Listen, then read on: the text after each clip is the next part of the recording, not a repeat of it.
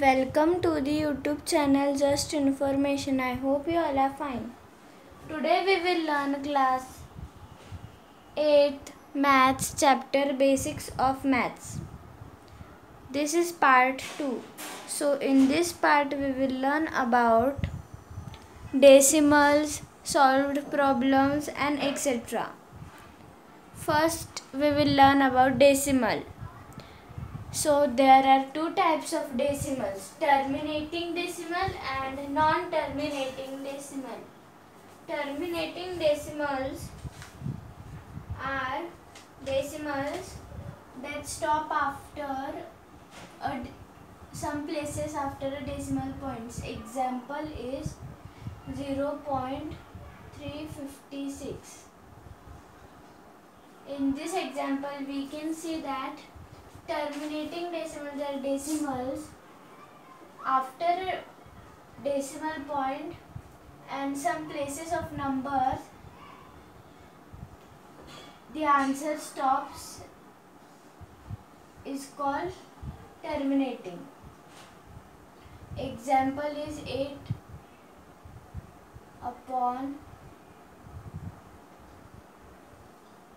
5 8 upon 5 5 divided by 8 5 ones are 5 3 carried after that we will take a decimal point 0 carried 5 6 are 30 so this is the answer. In this question we can say after a decimal point and some numbers remainder came 0 and the answer came in terminating decimal. Next is non-terminating.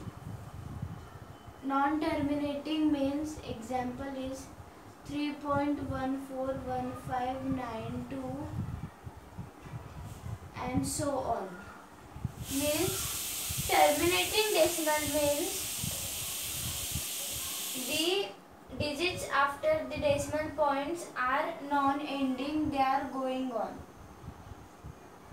till infinite there are two types of non-terminating decimals they are pure recurring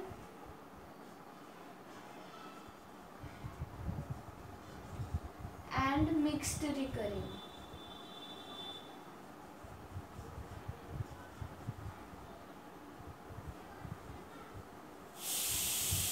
recurring. So pure recurring's example is 2.666 and so on. So here we can see this is non-terminating because after decimal point a number is repeating and because of these dots they are showing that the number is going on till infinity. So this is pure recurring because the number just after the decimal point starts repeating. One more example is like 4.5555 and so on. This is also a ter non-terminating pure recurring decimal. Now mixed recurring. Mixed recurring means after decimal points, after some numbers, the answer starts repeating. Example is 5.368181.12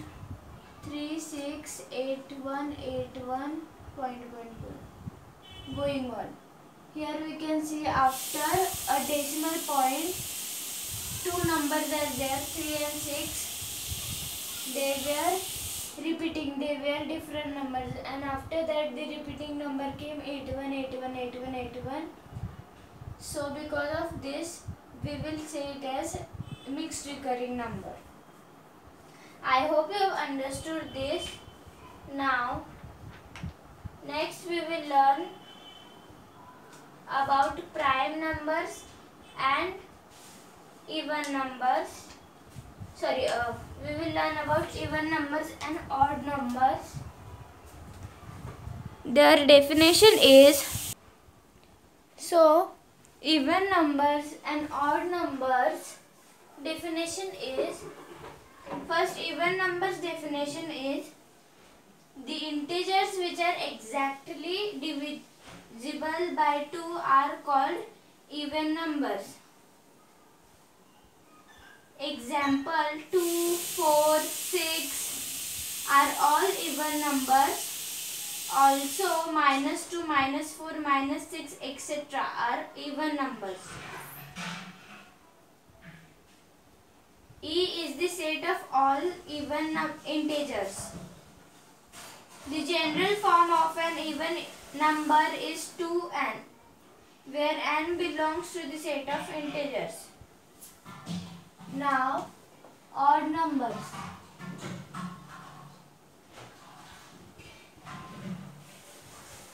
The integers which are not exactly divisible by 2 are called odd numbers. Example 1, 3, 5, etc. are odd numbers very odd number, every odd number is denoted by, is obtained by adding 1 to every even number. Example 3 is equal to 2 plus 1 is equal to 3.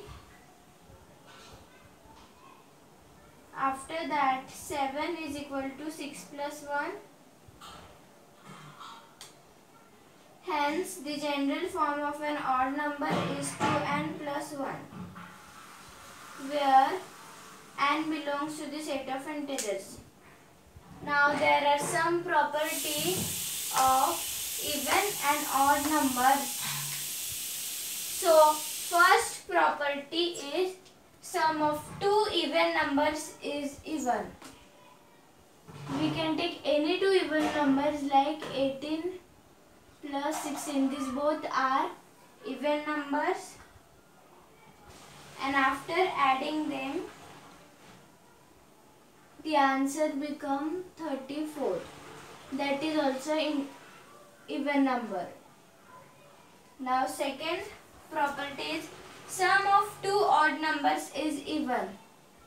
Two odd numbers we can take any two odd numbers like 3 plus 9 9 10 11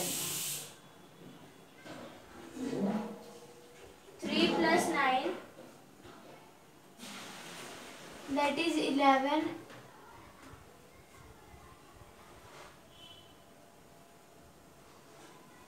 uh, and uh, it is 12 and 12 is an even number so this property also holds now the third property is Sum of an even number and an odd number is odd. So we can take any even number and any one odd number. Any one even number is 2 plus odd number is 7. 7, 8, 9. This becomes 9 and 9 is an odd number. So this property is also true. Fourth question is square of an even number is even. So the fourth property is square of an even number is even. Even number we can say like 4 square. 4 square is equal to 16 and 16 is a even number. Fifth is square of an odd number is odd. So any odd number we can take like 9 square and 9 square is 81 that is an odd number. Sixth question is sum of squares of two even numbers is even. Two even numbers we can say 2 square plus 10 square. 2 square is 4 plus 10 square is 100 104 that is an even number.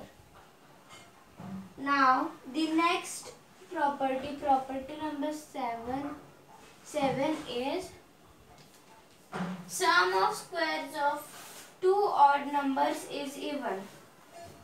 So any two odd numbers we, we can take as 3 square plus 5 square equal to 3 square is 9 plus 5 square is 25 that is 31 sorry 34 and this is an odd even number. So this property is also true. Now eighth property is sum of two squares of an even number is an odd number and an odd number is odd even and odd so we can take 2 raised to 2 plus 3 raised to 2 that is equal to 4 plus 9 that is 11 that is 13 13 and this is a odd number. Now question number 9 is difference of two even numbers is even. 12 minus 6 we can take is equal to 6 so this is also an even number. Next question 10 is we can take difference of two odd numbers is even. Two odd numbers 9 minus 5 we can take that is 4 and this is an even so this property is also true 11th is difference of an even number and an odd number is odd. Even number we can take as 8 8 minus odd number we can take as 5 is equal to 3 that is odd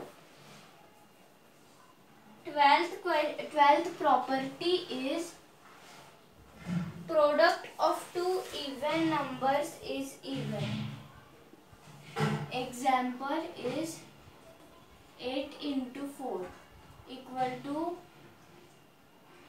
32 and that is an even number. 13th property is product of two odd numbers is odd and odd number is 5 into 3 equal to 15 that is an odd number. 14th property is product of an even number and an odd number is even. Any even number we can take 2 multiplied by odd, odd number we can take 7 equal to 14 and this is an even number. 15th is square root of an even number which is a perfect square is even. So the perfect square we can take a square root of an even number like 64. 64 is the square root of 8.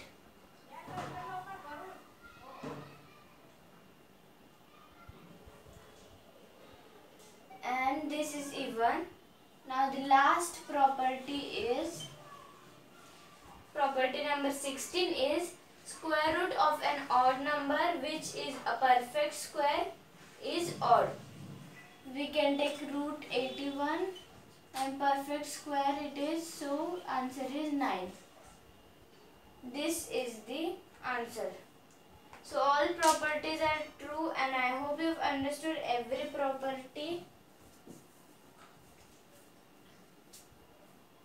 Now, this was the part 2 i hope you have understood everything for any queries and doubt you can join the telegram link given in the description of this video i hope you have understood everything thank you for watching